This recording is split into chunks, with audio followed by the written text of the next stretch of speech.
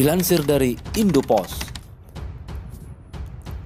Gerakan Nasional Pembela Fatwa atau GNPF Ulama dikabarkan melakukan pertemuan dengan Ustadz Abdus Somad di Palembang.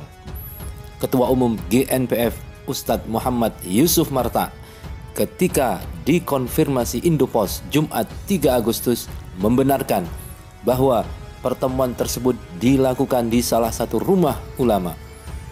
Iya, tadi siang usai sholat Jumat kami GNPF Ulama bertemu dengan beliau, Ustadz Somad. Kami berdiskusi selama satu setengah jam, ucap Yusuf Marta.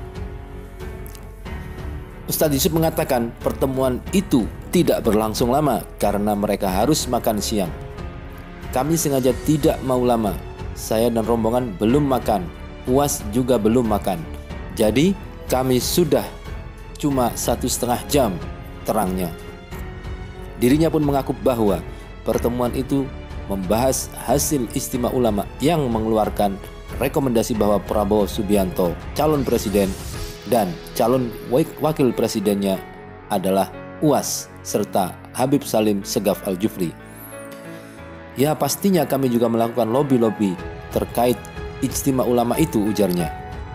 Lalu apa yang diucapkan oleh UAS dari pertemuan itu? Ya seperti sebelum-sebelumnya, UAS menyatakan mendukung Habib Salim dan Habib Salim juga seperti itu. Jadi itulah ciri ulama, tidak saling berambisi. Intinya 100% tak menolak dan 100% tak menerima imbuhnya.